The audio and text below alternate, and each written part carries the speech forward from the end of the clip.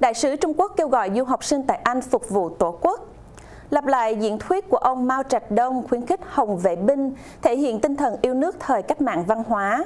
Đại sứ Trung Quốc Lưu Hiểu Minh mới đây đã kêu gọi sinh viên Trung Quốc tại Vương quốc Anh hãy phục vụ Tổ quốc mình.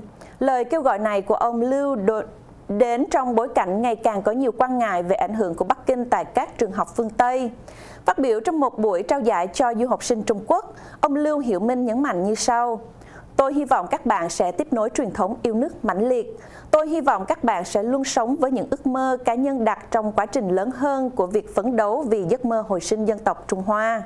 Tôi hy vọng những gì các bạn đã học được ở đây hiện nay, các bạn có thể phục vụ tổ quốc mình và người dân quê hương mình trong tương lai. Và tôi hy vọng sức trẻ của các bạn sẽ thúc đẩy các bạn tiến bước khi các bạn làm việc chăm chỉ hơn để nhận ra giấc mơ của mình. Phản ứng với những phát ngôn của đại sứ Trung Quốc, giáo sư Christopher Hirsch của trường kinh tế London đã nói với hãng tin The Times rằng lý tưởng yêu nước trong bối cảnh Trung Quốc có nghĩa là ủng hộ đảng Cộng sản Trung Quốc.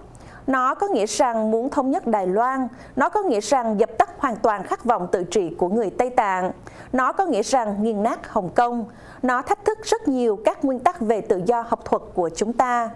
Càng có nhiều sinh viên Trung Quốc ở đây, họ càng bị kiểm soát và sử dụng bởi Đại sứ quán Trung Quốc và rất nhiều nhóm được thành lập để giám sát hành vi của du học sinh Trung Quốc. Vì vậy, họ không cảm thấy an toàn. Điều đó có nghĩa rằng bạn sẽ dần dần phải tự kiểm duyệt. Theo Breitbart News, hiện tại ước tính có khoảng 120.000 sinh viên Trung Quốc học tập tại Vương quốc Anh. Vào tháng 11 năm 2019, Ủy ban Đối ngoại Anh Quốc đã phát hiện sinh viên đến từ Trung Quốc tích cực tham gia vào nỗ lực tuyên truyền trong các trường học để thúc đẩy các câu chuyện ủng hộ đảng Cộng sản Trung Quốc và bóp nghẹt tự do ngôn luận về các vấn đề nhạy cảm đối với đảng này như là Đài Loan và Hồng Kông. Viện Khổng Tử đặt trong các trường học Anh Quốc chịu trách nhiệm tổ chức và điều phối các nỗ lực tuyên truyền của du học sinh. Viện Khổng Tử được giới chức Trung Quốc tuyên bố rằng nó đơn thuần chỉ là phương tiện lan tỏa thông ngữ, lan tỏa ngôn ngữ và văn hóa Trung Quốc. Nhưng trên thực tế thì viện này là chi nhánh của Bộ Giáo dục Trung Quốc, đặt dưới sự giám sát của Ban tuyên giáo Trung ương Đảng Cộng sản Trung Quốc. Trung Quốc đã thành lập các viện khổng tử trên khắp thế giới trong một thập kỷ rưỡi qua để quảng bá ngôn ngữ và văn hóa Trung Quốc thông qua các lớp học và sách giáo khoa do viện này cấp. Cơ sở đầu tiên được thành lập tại Seoul, Hàn Quốc vào năm 2004. Đến năm 2018 thì đã có tổng cộng 548 học viện và gần 2.000 phòng học khổng tử ở 154 quốc gia. Hầu hết được đặt tại khuôn viên các trường đại học hoặc là tổ chức giáo dục ở nước ngoài. Trung Quốc luôn lên tiếng khẳng định mục tiêu của các viện khổng tử là giảng dạy, đào tạo ngôn ngữ, văn hóa, thúc đẩy giao lưu trao đổi. Nhưng ngày càng có nhiều cáo buộc cho rằng đây là nơi thực hiện ý đồ tuyên truyền, tăng cường ảnh hưởng chính trị, gieo rắc thông tin sai lệch của Đảng Cộng sản Trung Quốc. Các chủ đề nhạy cảm như là sự kiện Thiên An Môn, đàn áp Pháp Luân Công hay là các vấn đề về Tây Tạng, người thiểu số Duy Ngô Nhĩ, trại cải tạo ở Tân Cương đều là những nội dung cấm thảo luận trong các viện khổng tử. Tại Anh Quốc hiện có 29 viện khổng tử trong các trường học trên khắp cả nước. Số lượng viện khổng tử tại Anh Quốc nhiều thứ hai thế giới chỉ sau Hoa Kỳ.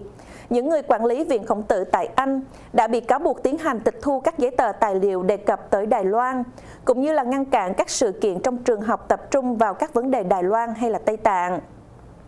Tờ South China Morning Post của Hồng Kông hôm ngày 4 tây tháng 7 cũng cho biết, Trước làn sóng phản đối và tẩy chay tại nhiều nước trên thế giới về các cơ sở viện khổng tử đã núp bóng gián điệp và thực hiện các hành vi tuyên truyền cho Đảng Cộng sản Trung Quốc. Mới đây thì Bộ Giáo dục Trung Quốc đã đổi tên các viện khổng tử này thành Trung tâm Hợp tác và Giáo dục Ngôn ngữ. Trong một chỉ thị cho các cơ quan cấp dưới của Bộ Giáo dục Trung Quốc lan truyền trên mạng, việc đổi tên được thực hiện từ hôm ngày 24 tây tháng 6 lời kêu gọi của đại sứ Lưu Hiểu Minh gửi đến du học sinh Trung Quốc tại Anh, đến vào thời điểm căng thẳng trong quan hệ giữa London và Bắc Kinh ngày càng leo thang. Chế độ Bắc Kinh mới đây đã cảnh báo London sẽ phải hứng chịu tất cả hậu quả vì Thủ tướng Boris Johnson quyết định mở đường cho khoảng 3 triệu người Hồng Kông được xin nhập quốc tịch Anh sau khi luật an ninh quốc gia mới chính thức có hiệu lực tại hòn đảo bán tự trị từ ngày 1 tây tháng 7. Phản ứng với quyết định của Thủ tướng Anh, Phát ngôn viên Bộ Ngoại giao Trung Quốc Triệu Lập Kiên trong cuộc họp báo thường nhật tại Bắc Kinh đã tuyên bố như sau. Trung Quốc mạnh mẽ lên án điều này và có quyền thực hiện các biện pháp tiếp theo. Phía Anh Quốc sẽ phải hứng chịu tất cả hậu quả. Đại sứ Liêu Hiểu Minh sau đó phát đi tuyên bố nói thêm rằng Chúng tôi cực lực phản đối điều này và có quyền thực hiện các biện pháp tương ứng. Chúng tôi kêu gọi phía Anh quốc phải đánh giá khách quan và công bằng luật an ninh quốc gia đối với Hồng Kông, tôn trọng lập trường và các quan ngại của Trung Quốc, đồng thời phải ngừng can thiệp vào các sự vụ của Hồng Kông dưới bất kỳ hình thức nào.